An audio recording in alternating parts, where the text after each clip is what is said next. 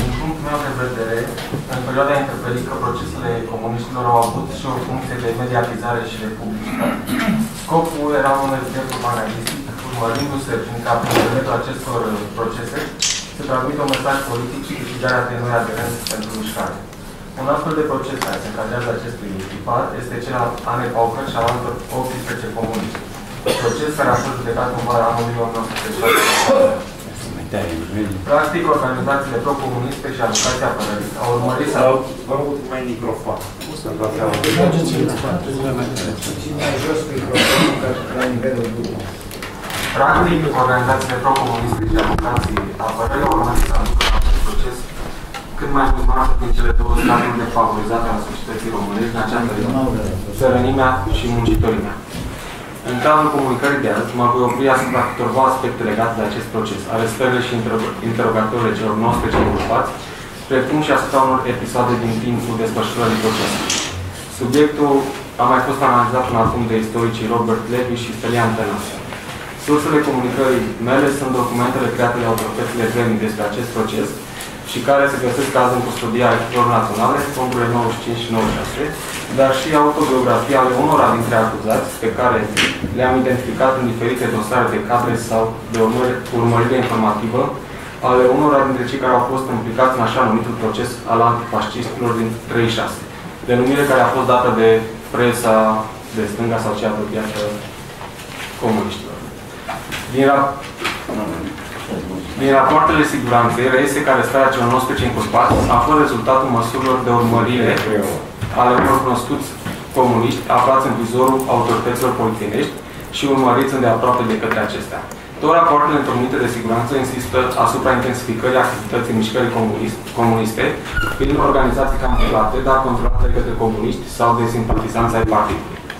Două sunt persoanele care au atent urmărite de către siguranță, siguranță și care au dus la descoperirea și arestarea comuniștilor ce vor forma lotul celor 19. Primul este Bernard Andrei, despre acesta se spune în documente că era, de, era tâncar de profesie și absolvent a școlii de propagandă și agitație de la Moscova, dar și faptul că a fost trimis în România după arestarea Ofeliei Manole cu sarcina de a reorganiza Uniunea Tineretului Comunist. Cea de-a doua identificată este Estera Radosoveschi, originară din Tighina și cunoscută comunistă. Ea este descrisă de una dintre personalitățile de seamă din rândurile inculpaților de astăzi. În documentele consultate, ea este indicată ca aceea care a pus mâinile siguranței generale firele organizației revoluționare a inculpaților de azi.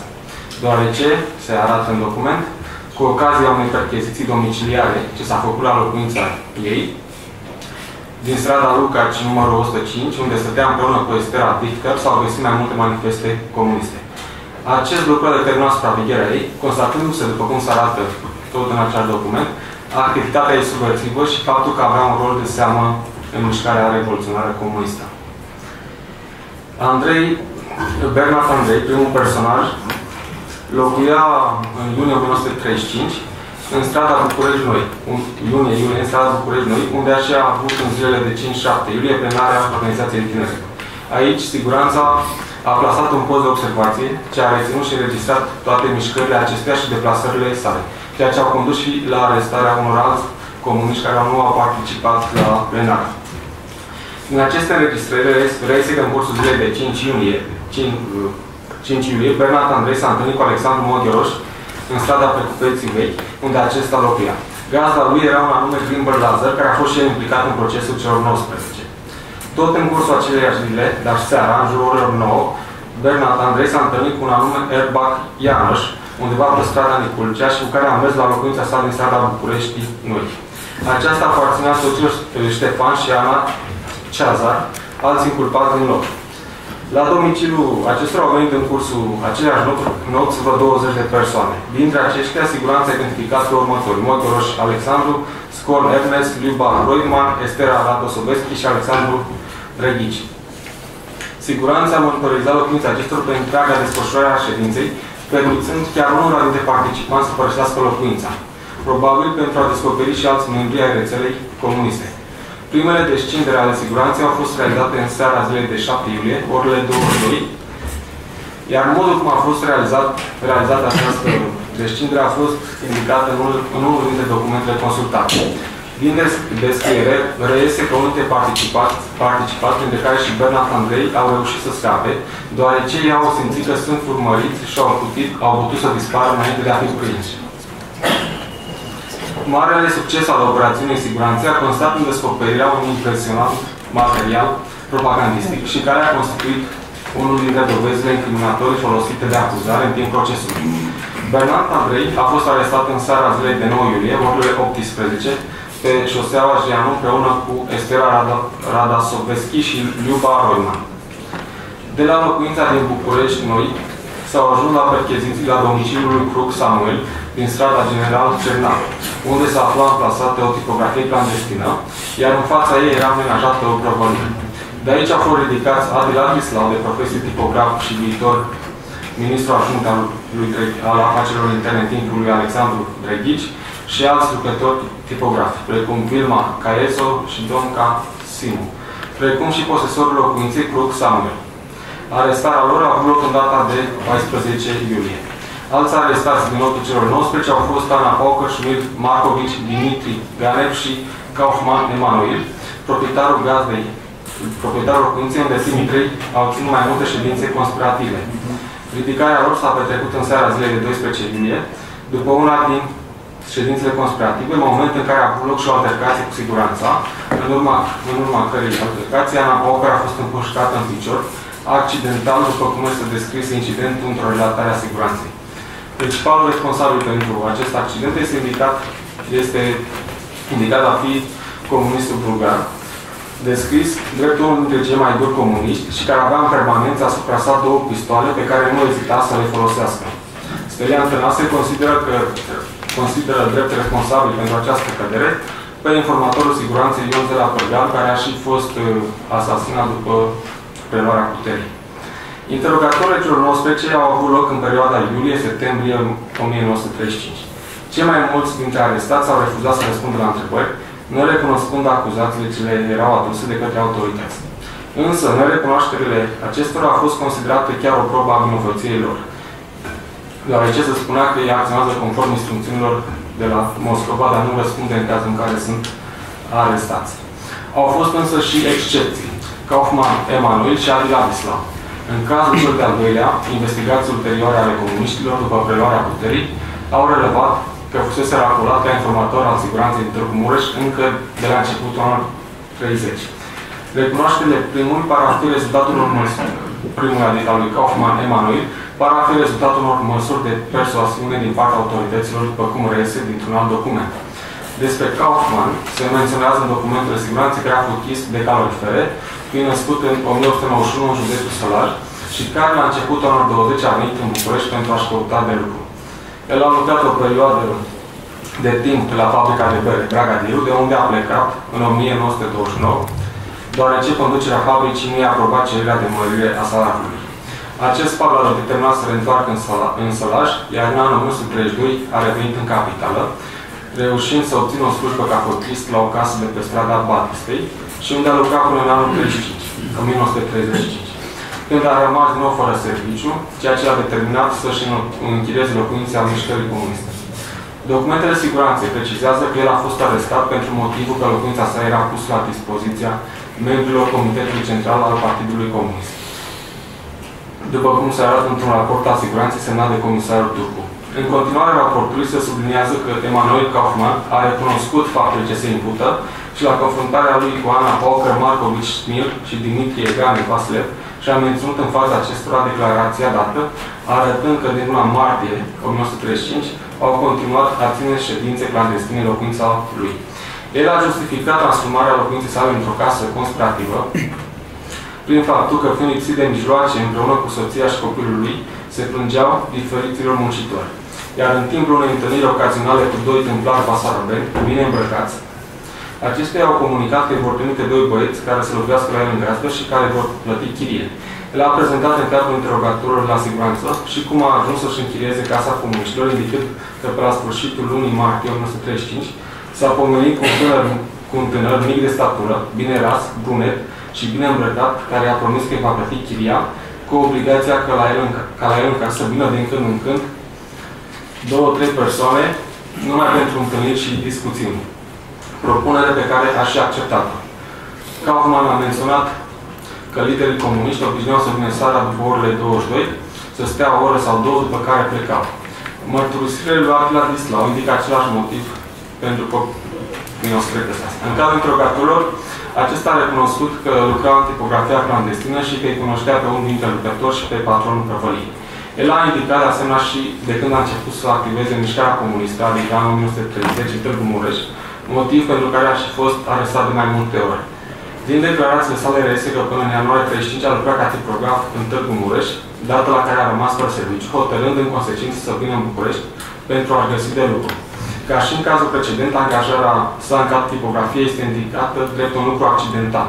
El descrie că după câteva zile de la sosirea în București, și citez, a fost întâmpinat de un necunoscut pe calea Griviței, care i s-a adresat pe nume și l-a întrebat dacă are de lucru.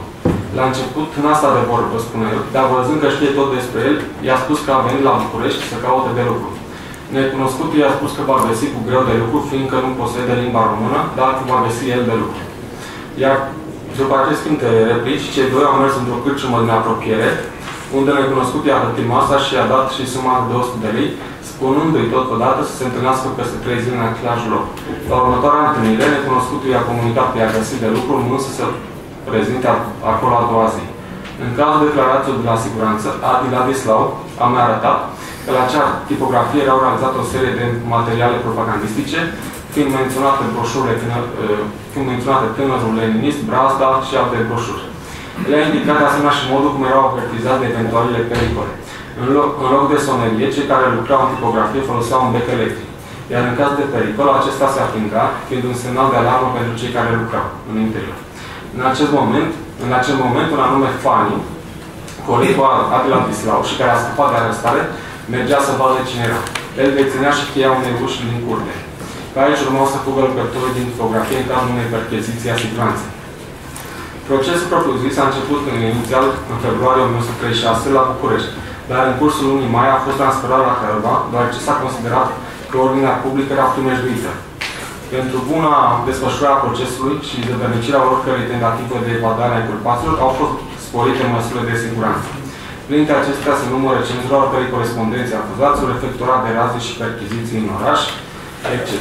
Ultimele, ultimele au dus la descoperirea în casa lui Gheorghe Bujor a Ghitlei Radu Sobeschi, sora uneia dintre inculpate și a unei anume Kim Ruse, venit în Craiova pentru a organiza un comitet local de apărare a deținuților politici, adică al celor 19 comuniști. Procesul a început în data de 5 iunie, iar primele accidente s-au evit încă din ziua următoare. Aceasta par să fi fost provocată de decizia președintelui, președintelui completului de judecată de a scoate din sală pe unul dintre avocații apărării, Nachtigal, care însă a refuzat să părăsească sala. Conform mărturii comandantului lotului de jandarm, ce avea ca sarcină asigurarea ordinii în sală, avocatul a refuzat să părăsească sala, iar ceilalți avocați au făcut zid în jurul său. Iar deținuții comuniști au început a vocifera, a ridica pumnii în aer și a amenința. Față de această situație, arată ofițerul de jandarmerie, a urmat evacuarea, evacuarea sălii de public, iar apoi citesc, am evacuat câte unul, doi din acuzați, cărora li s-au pus cătușe, fiindcă se opuneau, iar unii au fost scoși cu forța nevoind a, pără, nevoind a părăsi boxa și sala de bunăvoie. Ofițerul menționează că în timpul evacuării sălii de judecat nu s-a produs nicio lovire. Declarațiile sale sunt confirmate și de alți participanți la incidente, firește subofițer de jandarmerie, dar și de către unul dintre jurnaliștii acreditați. Cel din urmă descriu vacarul făcut intenționat de către inculpați, după cum reiese din declarația ziaristului Liviu Milescu de la Universul, dată în data de 10 iunie. Acesta arată că după retragerea Consiliului... Rugămintea mea este să vă apropiați de concluzii. Da? Declarațiile sale sunt confirmate și de alți participanți la incidente. Acesta arată că după retragerea Consiliului de Judecată, avocația apărării au început să vocifereze făcând cerc în jurul unui actigal, iar acuzați s-au sculat amenințători în boxă, în picioare, urlând și făcând o fel de gesturi cu pumnii. Era în sală un vacar masujitor, spune ziaristul. Îmi arată că tot publicul s-a indignat de atitudinea acestora, mai ales că unele dintre inculpate au încercat să se agățe de stâlpii din sală, să țipe, desigur, spre a face impresie și a sili probabil pe jandarmi la măsuri drastice. În finalul declarației afirmă și acesta că nu s-a repus în nicio măsură din violență. Au procedat poate cu prea mult ca jandarmie acesta. O altă mărturie scrisă și ea în același ton și care incriminează pe inculpați este cea a jandarmului Popovici, cel care a evacuat-o pe Ana Pauper. Aceasta este datată tot uh, 10 iunie. Declarația reproduce cu destulă acuratețe firul evenimentelor, ne uitând să sublinieze și faptul că evacuarea administrativă s-a produs în forță, deoarece am refuzat să iasă din sală, iar unora dintre ei li s-au pus fiare la picioare pentru a fi duși într-o altă sală a cezării. Voi cita această declarație. În acel timp, comuniștii s-au ridicat în picioare în boxă, ridicând pumnii în semn de protest și amenințare, dând cu ho domnilor ofițeri ce se aflau în sală și jandarmilor. Tot în acel timp, domnii avocați au părăsit, au părăsit băncile, blocându-se în jurul boxei și strigând la jandarmi, ce erau santinele, să dea la o parte din jurul boxei ca, ca comuniștii să fie liberi, aș manifesta dorințele ce, ce le aveau. În care timp, comuniștii au început a puitui pe domnii ofițeri și totodată, spre a nu fi evacuați, au introdus mâinile prin golurile boxei, refuzând a părăsi boxa. Conform ordinilor date, spune jandarmul, și pentru evacuarea sălii, în primul rând, comuniștilor s-au aplicat fiare, la, fiare de mâini și conduși fiecare pe rând de jandarmi în camera din apropierea sălii. Iar deținuta Ana Pauper depună rezistența pentru a nu fi încătușată, subsenatul a intrat în box, a luat-o de la spate și în mod forțat a trecut prin cordonul domnilor avocați ce erau postați, conducând-o în camera unde se aflau celelalte comuniste. După evacuarea comuniștilor, domnii avocați au părăsit și ei sală. În tot timpul evacuării nu a fost lovit niciun comunist de către jantar, ci din contră aceștia au fost puduiți de către comuniști. O să încheie această prezentare cu două declarații ale deținuților care susțin o variantă total puțin diferită. Acestea aparțin lui Ati Latislau și lui Alexandru Ghici. Voi exemplifica însă doar declarația viitorului ministru al afacerilor interne, din timpul lui Gheorghiu Dești. El spune, am fost lovit cu pumnul de domn cu de serviciu, eu la această lovitură m-am întors cu fața spre dânsul și am întrebat de ce dai domnule mine. În acel moment am fost lovit în picior de un domn sergent cu piciorul. La finalul procesului care s-a terminat în, jur, în jur de 30 iunie, cei 19 condamnați au primit uh, pedepse comparativ mai grele decât cei judecați în procesul, anteri în procesul anterior cel din aprilie, același an. Cele mai mari pedepse le-au primit, firește, cei liderii mișcări, cum au fost identificați de către siguranță, Ana Pocher, Dimitri Ganev, Smil Markovici, toți au primit în 10 ani de închisoare, urmați de aproape de către Alexandru Mogoroș, Bernard Andrei, Ladislau Adi, care au primit câte 9 ani și 11 luni. Iar cele mai mici pedepse le-au primit uh, cei care au fost identificați de case, drept gazde conspirative ale comuniștilor și cel care lucra, cel care și cel în, în a cărui casă exista o tipografie clandestină Samuel Pruc și care a fost implicat în evadare 2 ani și 6 luni, care a fost implicat uh, în evadarea lui Gheorghiu Deci din august 1940, august 1944, iar pe 45 a deținut diferite funcții de conducere, întâi la CFR, de unde a fost îndepărtat, i s-a fost, a fost inclus într-un proces de sabotaj, dar la intervențiile prietenilor săi comuniști a fost uh, scăpat, iar după aceea a fost numit uh, director de director al Direcției de Aprovizionare din cadrul Ministerului Sănătății. Uh, cam atât. Ceva despre instanță? Instanța a fost de generalul Teodor Petrescu, din câte am citit și completul a format din ofițer. Comisar egal cine era? Nu am înțeles, că apelam pe documentul, da. Da. da. Uh, atâta numai pe cum că nu era general. Mă rog. E colonel. Da. Nu știți nimic de, de felul cum au reacționat cei din instanță, uh, care a fost dialogul între avocat și instanță, în ce măsură s-a cerut sau s-a cerut o condamnare maximă? În general, procurorul măcar știți La cine avocați? La cine vă referiți? Mă refer la procuror, că era cheia de valoare. Știți sau nu știți cine a fost? Nu știu numele Da, acum. bun, bun. Ok, mulțumim. Trecem la comunicare, tot așa, în 15 minute.